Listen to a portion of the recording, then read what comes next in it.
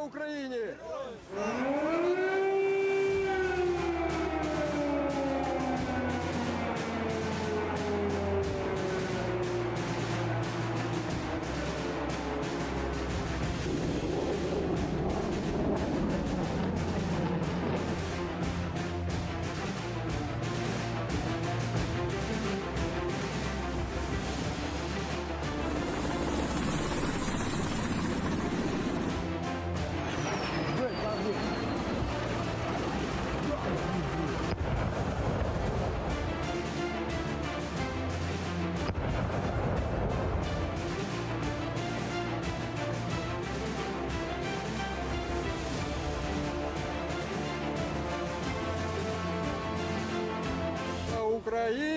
підемо воювати!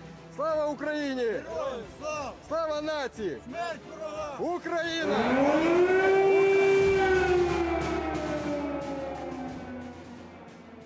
Zdravствуйте, tavariști! Cum ar fi, hai să ne imaginăm cum ar fi să auziți asta în fiecare zi, Uh, având în vedere și experiența românească în materie de Rusia. Da, Putin, așa cum ați văzut, a aderat Ucraina la măreața națiune rusă. Ce urmează sau cine urmează? Sunt întrebările care ne preocupă începând de astăzi. Până la urmă însă discuția ar trebui să fie despre ce avem noi românii de făcut. Vladimir Iliș Putin, Rusia, rușii nu se vor opri aici, este clar. Pentru dictatorul de la Kremlin, important este să rămână în istorie. Nu contează cât de mare este muntele de cadavre, contează doar pagina sau coperta mai exact. Iar rețeta a devenit deja clasică. E o minoritate din țara care te interesează, o faci republică independentă, o pui să se atace singură, apoi invadezi restul țării, că de e genocid. Scenariul a fost uh, deja văzut în Georgia, în Ucraina, zilele acestea, dar și în 2014, amintiți-vă de Ucraina, de Crimea. Revenind la ce ne va durea pe noi, va fi vorba de energie, locuri de muncă, posibil recesiune. Sancțiunile adevărate înseamnă, înainte de toate, sacrificiile personale, sacrificii din partea celui care le dă. Abia apoi pedeapsă pentru alții. Cristian Vasilache, avocat, economist, alături de mine în platou. Bună seara, bine ați revenit. Bună seara. De ce ne era frică? N-am scăpat vorba românului. Uh, Acum, sau că am înșelat americanii, am văzut tot felul de glumițe, în loc să fie pe 16, a fost pe 24. Ora a corespuns, din câte mi-aduc eu aminte, dar uh, poate fusul orar sau ceva. Dar, uh, dincolo de uh, gluma amară, uh, Putin uh, a dat ordin armatei, a intrat în uh, Ucraina din trei părți, să vedem unde se oprește, că uh, și aici e deja uh, uh, incert, uh, va ajunge la Chilia sau uh, se oprește în uh, Crimea și face acea porțiune Acel de pod. uscat uh, care să Pod lege terestru. Crimea de Rusia. Podul terestru, da, un pod cam lat, dacă stăm să ne Cam gândim. lat, bă, și Vreo 26.000 de kilometri pătrați. problematic acolo. Da, bun. Uh, Occidentul, am auzit tot felul de uh, opinii. Noi nu o să analizăm din punct de vedere militar. Nu este uh, apanajul nostru. Aici se vor exprima în zilele următoare. Cred că e prematur să facem apreciere acum. Uh, am auzit în uh, ultima perioadă tot felul de opinii, potrivit cărora, păi cum, numai sancțiuni astea, oricum oligarhii și-au luat banii, etc., etc. Adică de parcă am fi avut alte mijloace la dispoziție. E destul de dificil să sancționezi o țară care atacă pe alta. Uh, mai ales în uh, vremurile astea globalizate, când totul e întrepătrus, de la turism până la industrie, burse, nu știu, orice de fapt, uh, una peste alta. Deci uh, urmează un nou val de sancțiuni. Uh, Da, a fost uh, una uh, dată în primul val, la începutul săptămânii, una legată la tăierea accesului uh, la finanțare pe piețele, piețele vestice, vis-a-vis de datoria rusească. Uh, Asta înseamnă cumva că um, e ca și cum ei spune unui om care are un credit la bancă, domnule, mâine vreau banii înapoi? Sau renunți la datorie? Care este uh, traducerea în limbaj uh, comun? Deci aceste sancțiuni trebuie să aibă și efect clar în piață. Da? Din ce am observat noi, aceste sancțiuni pe care le dictează Occidentul, și aici vorbesc și de Statele Unite ale Americii și de Uniunea Europeană, să vorbim, să luăm ca un tot, pentru că ambele ambele comunități au dat acest tip de sancțiuni împotriva Rusiei. Și nu sunt de ieri de azi. Sunt foarte vechi aceste sancțiuni. Și aici trebuie să fac un mic istoric, pentru că nu, noi am verificat acest lucru, acest aspect. Să știți că primele sancțiuni după războiul Crimeei din 2014 au fost date pe 3 martie de către Statele Unite ale Americii, în care se interzicea finanțările și accesul spre tehnica militară, care putea să îmbunătățească capabilitățile militare ale Rusiei. După aceea a venit și Uniunea Europeană ulterior, iar noi am numărat, pentru că am discutat pe tema asta, un număr de 85 de sancțiuni economice care au fost dictate împotriva statului Rusia de către Uniunea Europeană și Statele Unite ale Americii, în tandem aproape, din 2014 până în 2019. Acest lucru ce a făcut? Pentru a se limita aceste nenorociri care se întâmplă astăzi. Da? Aceste sancțiuni care au fost date în 2014 au fost ca urmare a pătrunderii în Crimea și discuții și situații anexării. și anexării clare. Da? Bun. Ce a făcut acest lucru pentru Rusia? care, din păcate, nu este destul de bine analizat. Noi l-am analizat din punct de vedere economic, exact cum spuneți dumneavoastră. Toți analizează numai din punct de vedere militar. Stați puțin, nu este vorba numai de un război, este vorba și de un război economic, care se duce, v-am spus, din 2014, adică de 8 ani de zile. Acest lucru a făcut ca Rusia să fie, e un termen comun și spus de, cam de toată lumea, mai rezilientă împotriva acestor tip de sancțiuni și a făcut ca atenția Rusiei în acești 8 ani de zile din 2014-2022 să se ducă spre relații comerciale către alte țări care nu sunt Parte. parte ale Uniunii Europene și ale Statelor Unite ale Americii. Și vă dau un singur, mai multe exemple, dar vi-l dau pe cel mai recent. În 4 februarie 2022, deci aproape acum 18 zile, se semnează un acord cu China exact pe ce probleme avem noi în Europa. Pe furnizarea de gaz către China pe o perioadă de 30 de ani, domnul Pastie. Acest lucru este prevăzut, l-am văzut și pe Bloomberg, l-am văzut și pe CNN, nu atât de bine dezbătut, l-am văzut și pe alt tip de informări care nu prea au fost popularizate. Atenție! Deci se știa din februarie că pe următorii 30, 30 de ani s-a semnat acest tip de acord. Mai mult decât atât. Ca să vedeți de unde vine reziliența Rusiei și de ce nu cred eu, de exemplu, personal, că vor avea un efect atât de devastator toate sancțiunile pe care le vor da ce de la Uniunea Europeană și Statele Unite ale Americii în această perioadă. Și vă spun de ce. Atâta timp cât Rusia își găsește alte piețe pentru hidrocarburile pe care le are. Da? Și face pași în acest sens. Semnează acorduri cu aceste state.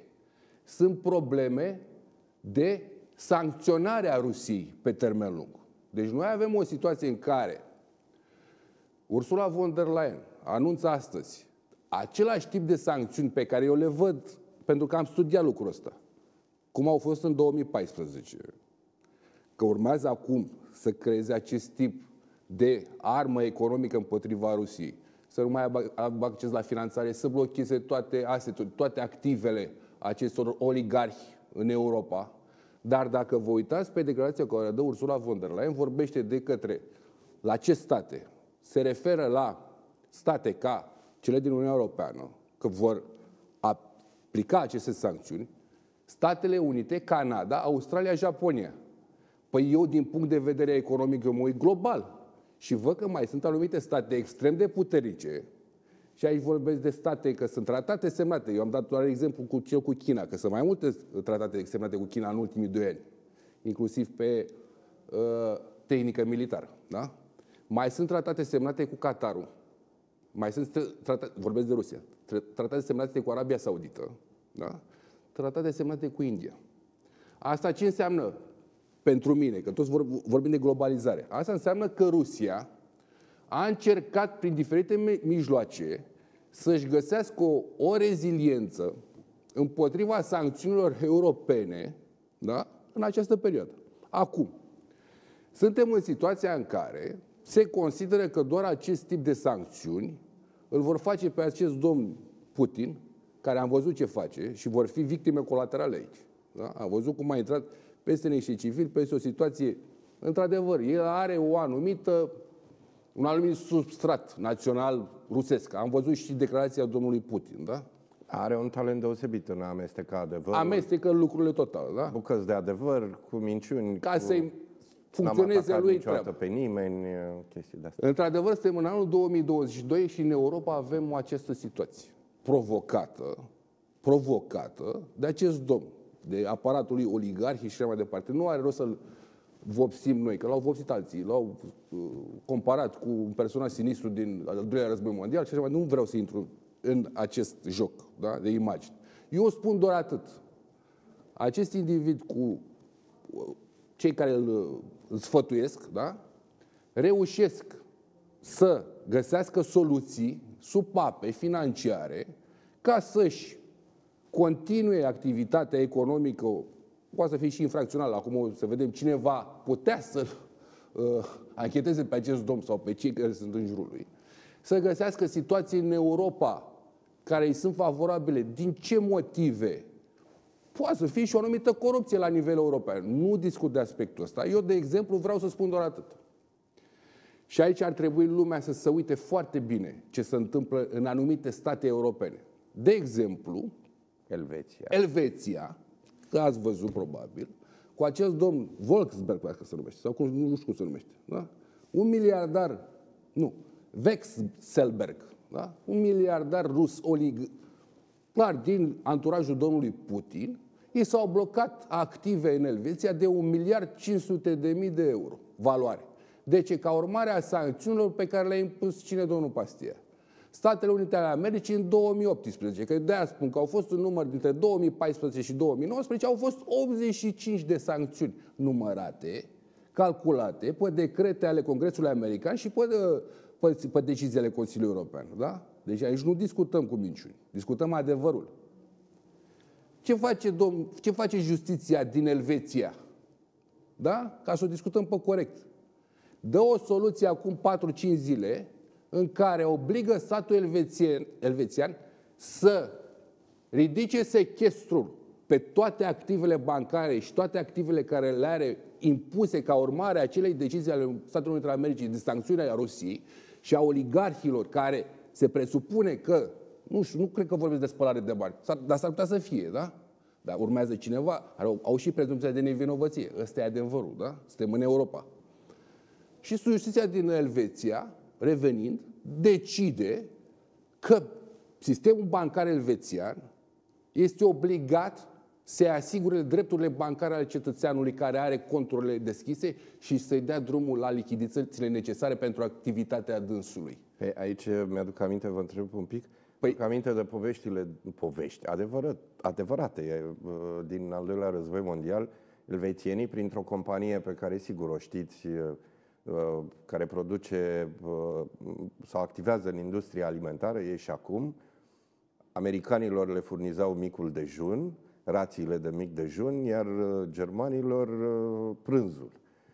Ce s-a schimbat, Și domnul Nu Pastia? s-a schimbat nimic, evident. Deci situația este că, indiferent de ce se spune global, eu am văzut, eu de exemplu pe sirene mă uitam și arătau niște situații, oameni care erau în metrou și stăteau să aștepte să se ferească de viitoarele raiduri aeriene rusești. Da? Mergeau pe treaba asta, pe victimele colaterale, pe impactarea asta extrem de rapidă, care o înțelege toată lumea. Dar eu spun altceva. Ca să nu ne jucăm cu războiul în lumea asta.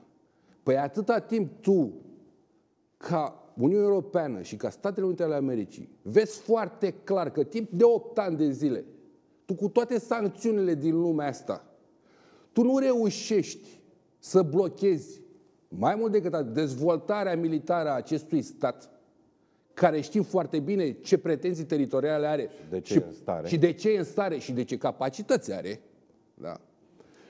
tu îl zugrăvești pe omul ăsta de la Kremlin, care poate să fie altul, nu e neapărat să fie el. E o situație că, e clar, nu este singur acolo, da? Poate să fie altă imagine, alt nume, da? Nu știu dacă ați văzut pe Medvedev ce amenințare a făcut acum două zile. Am auzit. La ce nivel, da?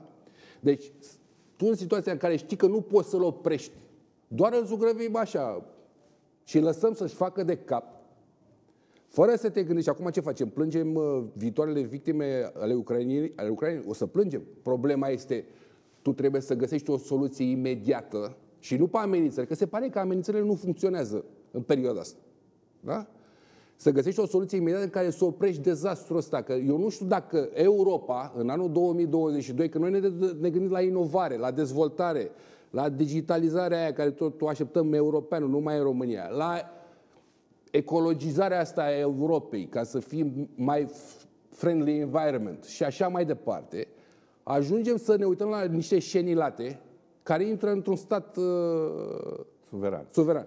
Deci Deci e despre pro- soluții, despre soluții vă propun uh, să vorbim uh, după ce vedem uh, imagini, uh, nu știu dacă sunt în premieră sau nu, dar eu cel puțin nu le-am mai văzut, uh, când aterizează acel avion ucrainean pe aeroportul din Bacău și F-16-le românesc care dă târcoale aeroportului să se asigure că aterizează acel avion al forțelor aeriene ucrainene. Haideți să vedem imagini.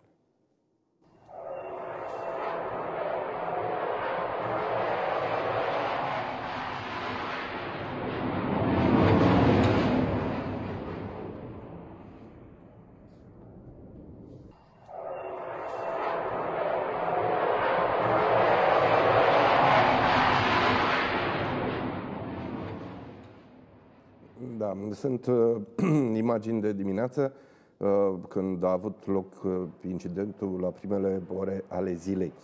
Uh, un avion Suhoi 27 uh, al forțelor aeriene ucrainene care a fost interceptat și obligat să aterizeze la Bacău. Încă nu sunt clare motivele pentru care acest avion a ajuns în spațiul uh, aerian românesc. Da, în sfârșit, F-16 românesc a reușit să uh, doboare pe cineva, E adevărat cu forța uh, comunicării radio de data asta, dar uh, tot, uh, tot e bine. Uh, Haideți să-l ascultăm și pe președintele Iohannis, care ne-a dat asigurări astăzi că nu avem de ce să ne temem și că uh, România este pe mâini bune. Dragi români, știu că sunteți îngrijorați de conflictul care are loc nu departe de granițele țării noastre, dar vă asigur, nici un român nu trebuie să se teamă pentru siguranța sa și a familiei sale. România beneficiază de cele mai ample garanții de securitate posibile. Statutul de membru NATO și al Uniunii Europene, partenerul strategic solid cu Statele Unite ale Americii, constituie o umbrelă de securitate extrem de solidă. Niciodată în istoria noastră nu am fost mai bine protejați în fața oricărei potențiale agresiuni. Vreau să subliniez foarte clar. România nu va fi atrasă în conflictul militar din Ucraina. Mai mult, vă asigur că voi lua absolut toate măsurile care se impun, împreună cu Guvernul, Parlamentul României și aliații noștri internaționali, pentru ca securitatea și siguranța cetățenilor români să nu fie sub nici o formă afectate. Da, are dreptate președintele, aici nu avem cum să-l contrazicem. În sfârșit, uh, stăm și noi uh, sub o umbrelă. Uh, Nu mi-aduc eu aminte, am auzit de la bunici, de la străbunici, de momentul 1939.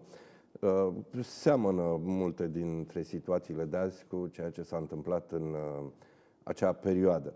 Dar revenind, domnule Vasilache, așadar, uh, care ar fi totuși soluțiile? Ce ar putea să-i doară pe ruși? Adică să se ducă cu sancțiunile spre populația rusă? De exemplu, nu știu, să interzică libera circulație, apropo de o să mai ducă rușii în Grecia, în Spania, în Anglia, la Și cine va să-și avea facă de suferit? concediile. Și cine va avea de suferit? E adevărat. Și aici uh, altă Aici vorbim, întrebare. de, aici vorbim de un consumerism din ăsta global. Iar în momentul când te duci cu sancțiunile de genul ăsta, pentru că nu au, nu au făcut lucrul ăsta până acum, ce spuneți dumneavoastră. Da?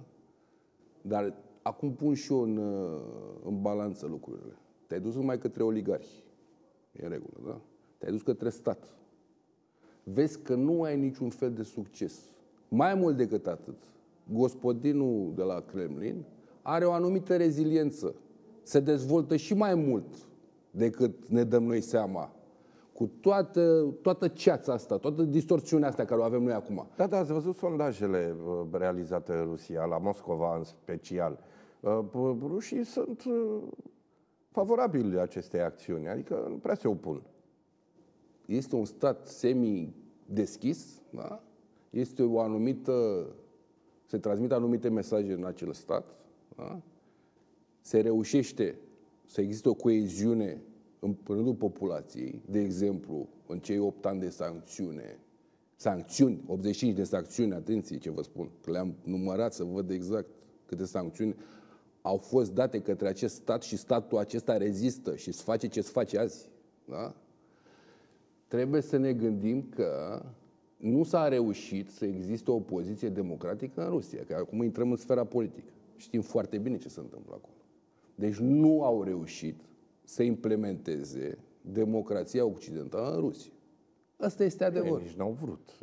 Nu mi-aduc aminte de încercări de genul Eu cred acesta. că au fost uh, oprite din mai multe motive. Și știți foarte bine că opozantul domnului Putin e la pușcărie acum. Până nu știu ce Ei, că dacă mai trăiește. dacă mai trăiești. Deci problema este clară. Toate sancțiunile, și vă spun, și acum nu mai vorbesc de politică, pe mine nu mă interesează politica. Eu știu foarte clar și văd lucrul ăsta. Toate sancțiunile care s-au dat în ultimii 8 ani de zile nu au avut un rezultat favorabil. Da? Ce faci? Trebuie să găsești o altă abordare. Da? O altă abordare.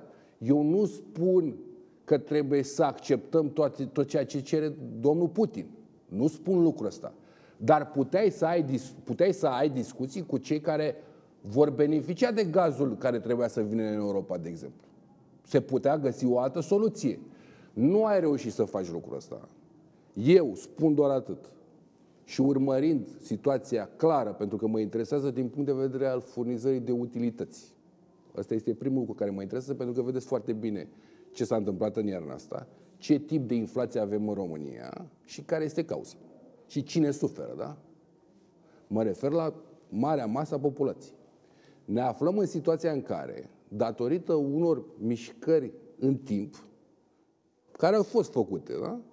nu s-a reușit stoparea acestei situații. Acum, eu întreb, noi ca România, l-am auzit pe domnul președinte, el are dreptate, am mai auzit acest slogan. Suntem sub umbrela NATO, suntem într-o si- țară sigură, suntem apărați cum nu am fost apărați niciodată. Da? Este adevărat. Dar eu întreb altceva. Dacă în rândul CSAT-ului cineva vede lucrul ăsta, dacă se observă că aceste sancțiuni nu, are, nu au efect, la iarnă, iarna viitoare, o să mai avem probleme cu prețul la gaz? Asta este întrebarea care o am. Păi, am văzut... Nu vreau să vorbesc de război. Războiul este apanajul altcuiva. Dar eu întreb, o să avem probleme cu, cu acest gaz? Dar haideți să vedem uh, ce s-a întâmplat cu gazul astăzi. Uh, Prețul gazului. Gazul nu s-a întâmplat nimic, e la fel, miroase urât. Haideți să vedem material.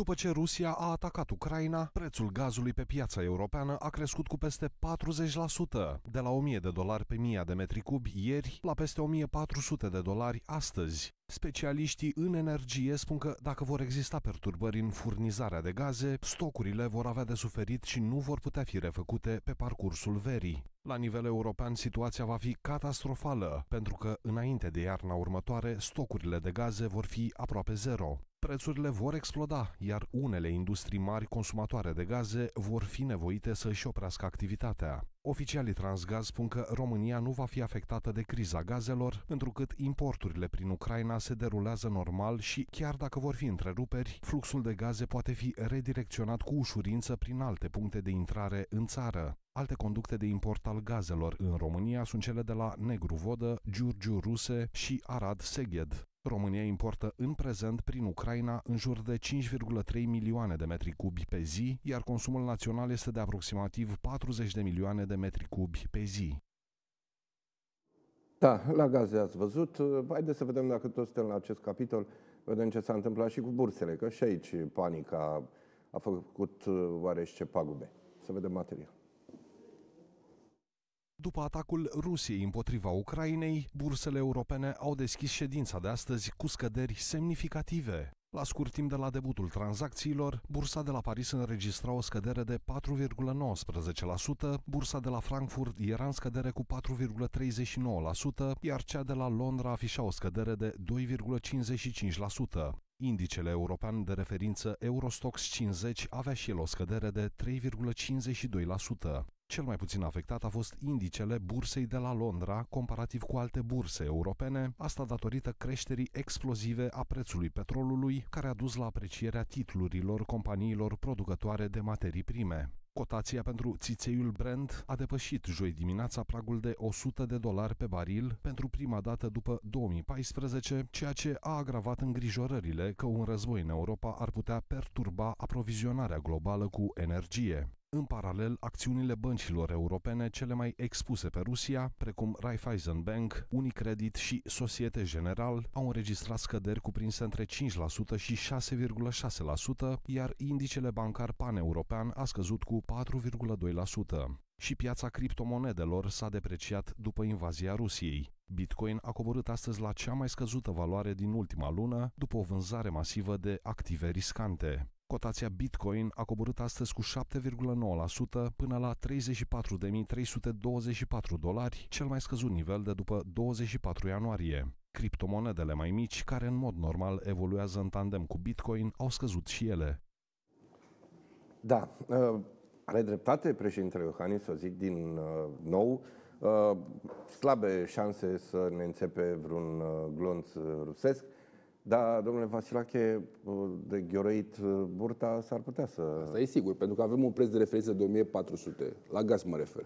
Cei de la Transgaz spun, nu veți avea clar probleme cu întreruperile de gaz. Păi nu e problema României, domnule, întreruperile de gaz. E problema la preț, că ne arde la buzunare. Da. O să ne întrerupem noi voluntar. Dar noi, Aia e problema. Noi n-am folosit 82% din producția internă, uh, din consum din producția internă? Asta e problema care a trebuit să răspundă cei de la Romgaz și de la Petrom. Pentru că ei sunt producătorii de, de gaz, da? Mai mult decât atât, cei de la Romgaz pe primul trimestru din 2021 au avut o producție record pentru că și-au mărit, pentru că știau ce urmează. Dar nu au bănuit că va fi atât de, de grav. Problema este că prețul liberalizat e la 1400. Iar domnul Medvedev, știți foarte bine că discutam, vorbea de 2000. S-ar putea la iarnă. Da? Lăsăm la 1400 preț de referință toată vara, Zic și eu, nu știu, eu dau și eu o predicție, o prognoză de-a mea cu războiul din, din Ucraina. Nu se liniștesc lucrurile acolo, că acolo este ongoing toată situația, din cauza celor uh, militari, acelei populații proruse, va fi extrem de dificil de oprit ceea ce se întâmplă în Ucraina. Te duci cu prețul de referință la gaz de la 1400, termin vara tot cu 1400, normal consumul este redus și, da, și încep să urci din toamnă, cum a urcat, de exemplu, în 2021. Deci mergem pe, pe modelul care s-a întâmplat în 2021. Poate să, adu, poate să ajungă la 2000, domnul Pastia? Este posibil. Mai am o problemă. Ne mai miră ceva? Nu mai mă miră nimic. Nu, nu. Orice scenariu la care mă gândeam că nu se va întâmpla, se poate întâmpla. De ce? Din cauza unei poziții voluntare a celui care este furnizor de gaze principal pentru Europa. Bun? Și avem situația clară. Nu vreau să vorbesc de Germania, atitudinea Germaniei care a avut clar acordul bilateral cu Rusia ca să-și asigure prețul la gaz extrem de bun. Nu vreau să vorbesc de lucrul ăsta. Deci acolo clar nu a fost o atitudine de monolit a Uniunii Europene ca să găsească o situație pentru toți cetățenii Uniunii Europene. S-a mers doar pe o situație clară, unilaterală a Germaniei, pentru a-și asigura gazul cel mai bun. E în regulă, am înțeles-o și pe asta, este interesul industrial al Germaniei. Mai avem situația uh, Ungariei, care tot așa și-a găsit o situație, dar acolo este un, un răzvrătit care încearcă să, să facă niște jocuri. Eu spun altceva. Păi noi, ca români, dacă noi vedem că anumite țări joacă la nivelul ăsta, că ăsta e adevărul, da? Își mută piesele pe tabla de șah. De ce? Să-și asigure o, nu mai spun de reziliență, că noi nu avem, da? Să-și asigure o bunăstare normală a populației. Tu care ești producător de gaz, că Germania nu e producător de gaz, să fie clar. Tu care ești producător de gaz 82%, tu nu reușești ca timp de un an de zile să-ți găsești o anumită rezervă ca să-ți ajuți populația, tu lași prețul în aer, da? Fără să te uiți la componenta socială, că o spun de atâtea ori până le intră oamenilor în cap, componenta socială, economică a României, a majorității românilor. Și nu spun eu, domnul Pastia, a spus-o ministrul energiei când încerca să găsească o schemă de ajutor pentru populație și a găsit 10 milioane din 19, câți mai suntem, da? pe prognoza INS-ului, că acum suntem în plin recensământ, 10 milioane de cetățeni vulnerabili. Păi atâta timp eu, cât sunt în stare să-mi pun niște date cap la cap și să spun coerent, nu politic, spunem pe date economice, ai 82% posibilitatea să asiguri consumul intern al României. Ai starea de alertă continuă. Ai situația care, vedeți foarte bine că toată Europa a sărit uh, în aer din cauza acestui domn care nu mai vrea să furnizeze gaz. Clar, nu vei avea pe următorii ani posibilitatea să-ți asigure altcineva aceeași cantitate de gaz în sistem.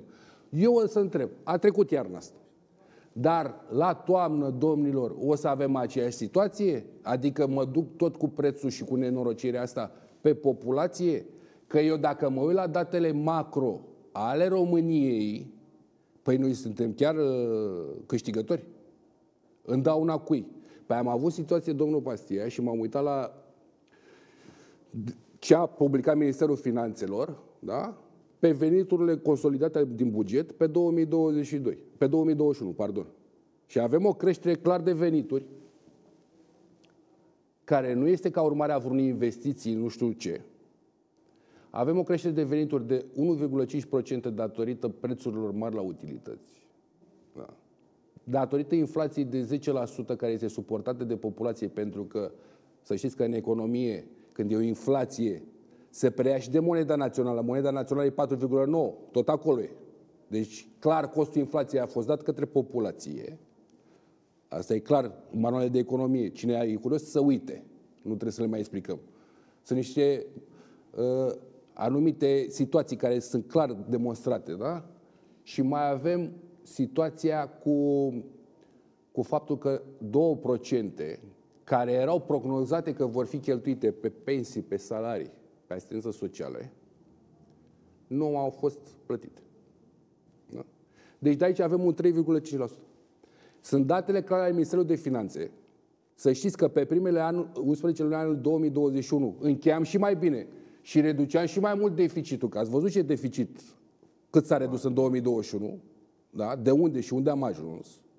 Și mai mult decât atât, prognoza pe care s-a făcut bugetul de stat de creștere de 4,2 nu a putut, de data asta, a fost în, a, nu a fost pe pierderea noastră, a fost pe câștigul nostru, pentru că noi am avut o creștere de 5,6.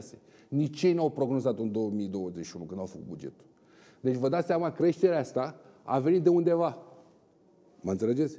Deci numai dintr-o situație disruptivă poate să-ți vină diferențe de genul ăsta pe creștere, nu pe pierdere. și oricum nu în avantajul omului cetățean. Păi aici este problema mea. Că spun, domnilor, e bine să ne gândim la eficientizare. Este bine să ne gândim și la capitalizarea societăților românești, că și acolo e problema. Am, am discutat-o, dar o să discutăm problema în altă misiune, că acum e problema cu Ucraina. Este bine să ne gândim la lucrurile astea, să ne îndeplinim din nou obligațiile europene.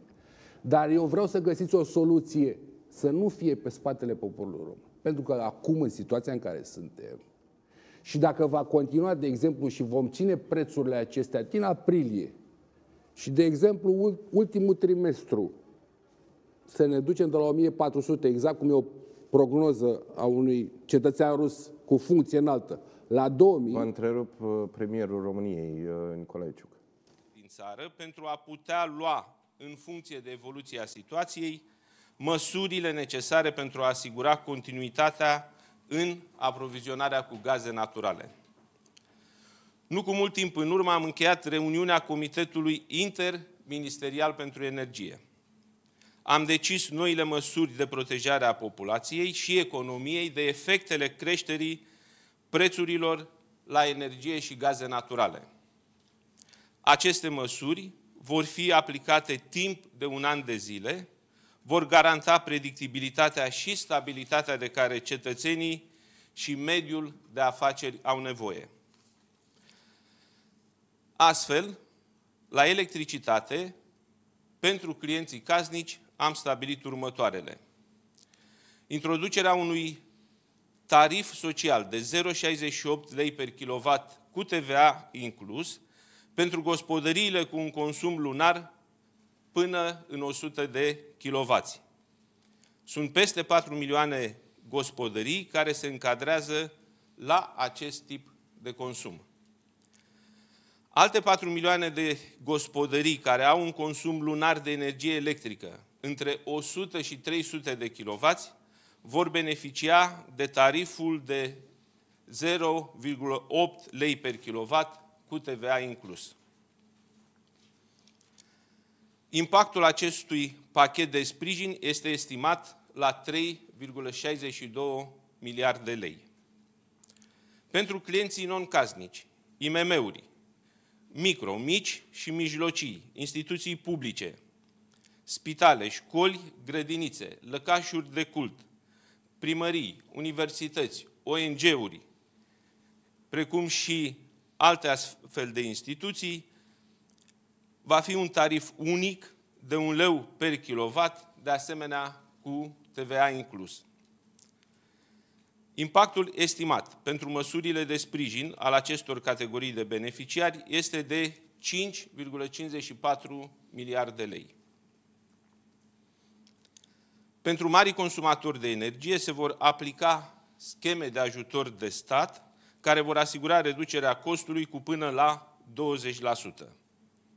În total, impactul estimat al măsurilor de sprijin pentru consumatorii casnici și non-casnici este pentru electricitate în valoare de 9,16 miliarde de lei până la sfârșitul acestui an.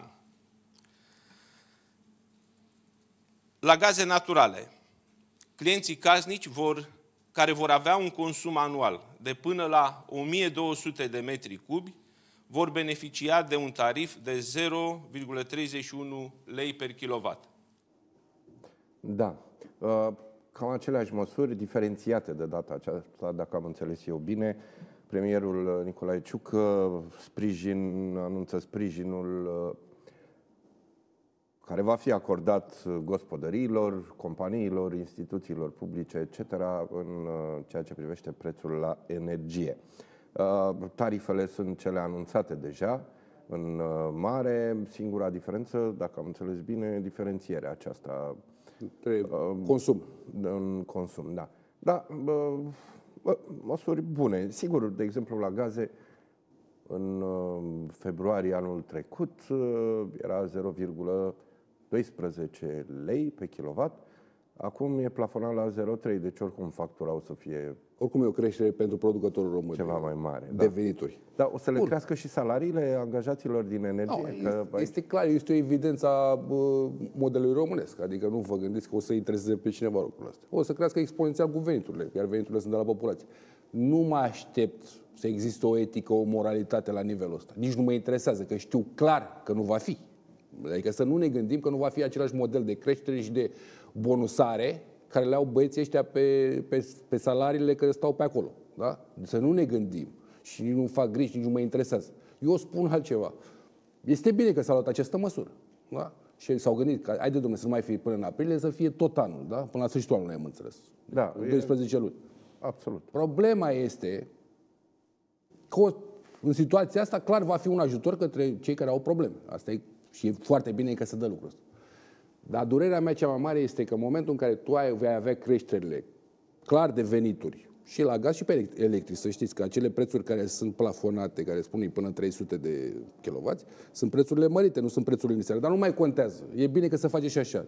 Există o predictibilitate pe următor, pe un an de zile. Este bine.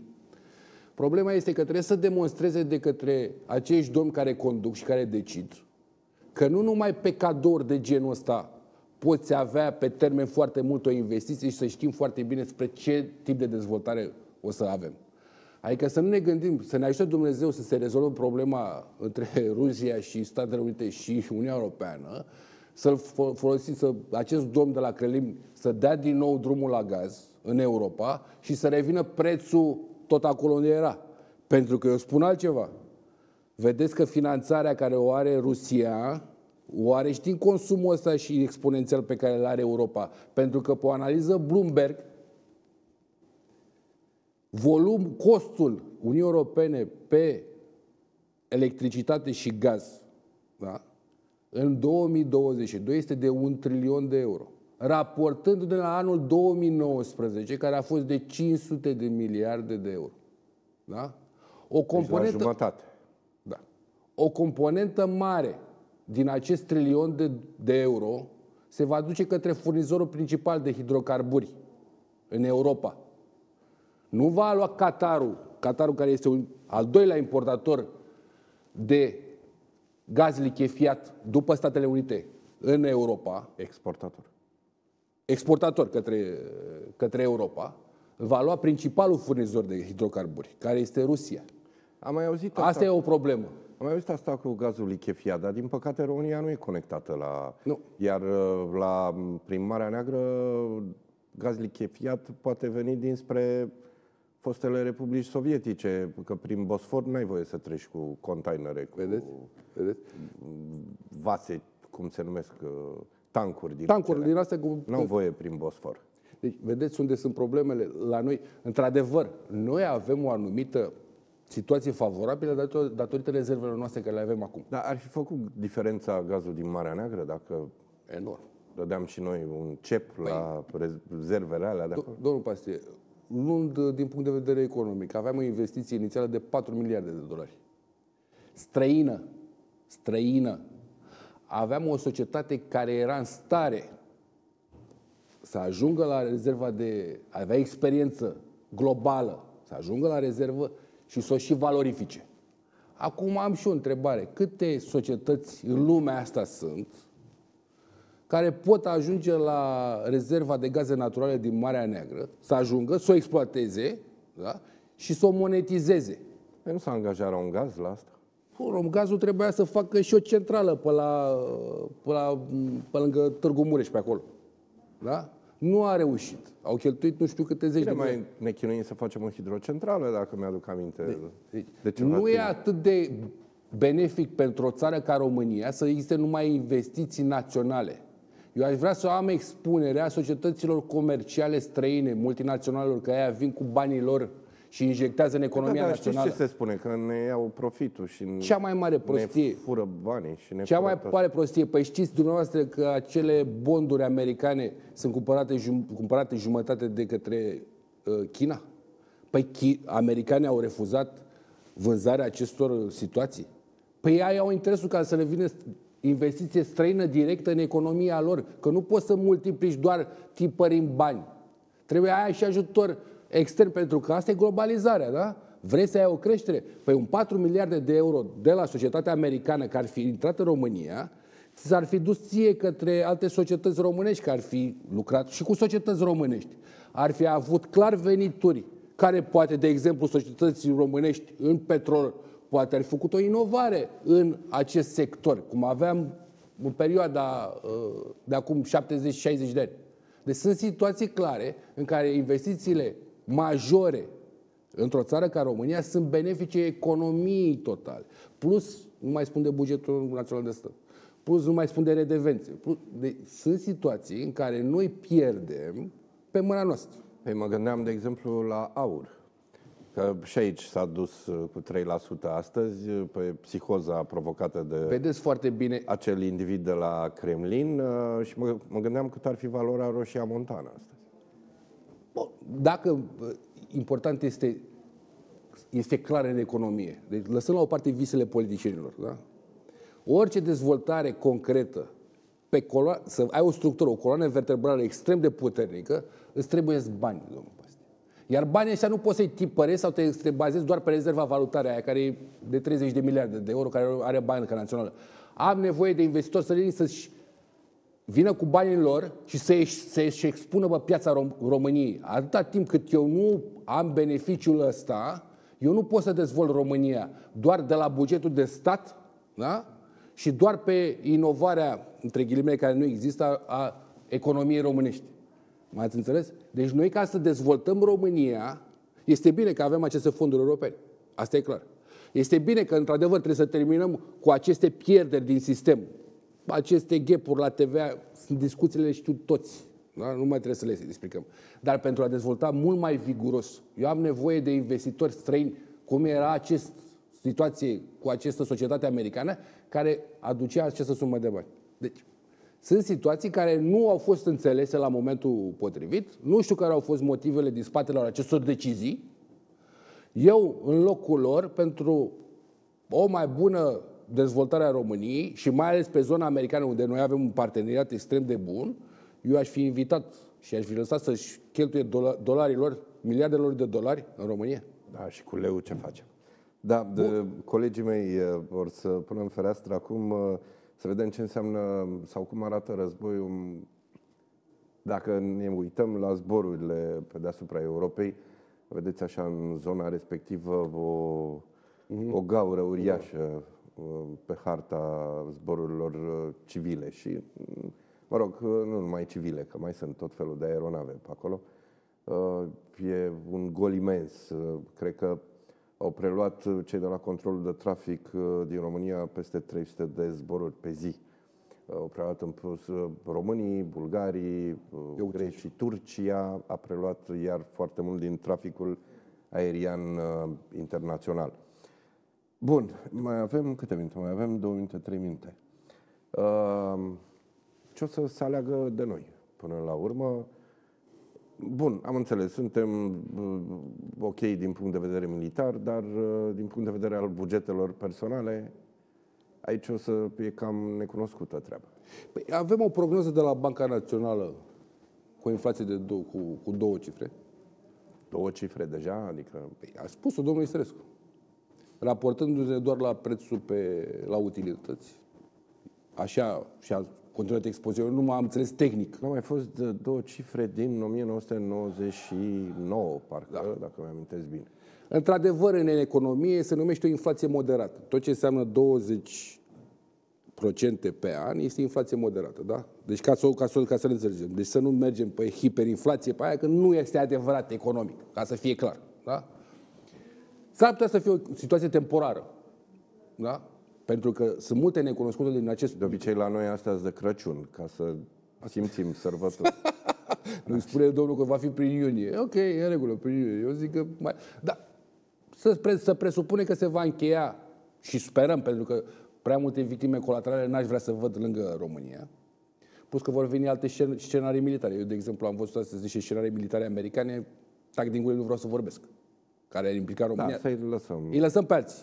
de Halloween. De hal. Deci problema este că văd că se preia premierul României, preia o schemă de ajutor a populației, ceea ce e în regulă, dar totuși este cu un preț mărit care va ajuta producătorii de gaz. Deci clar bugetul va fi exact pe direcția bună.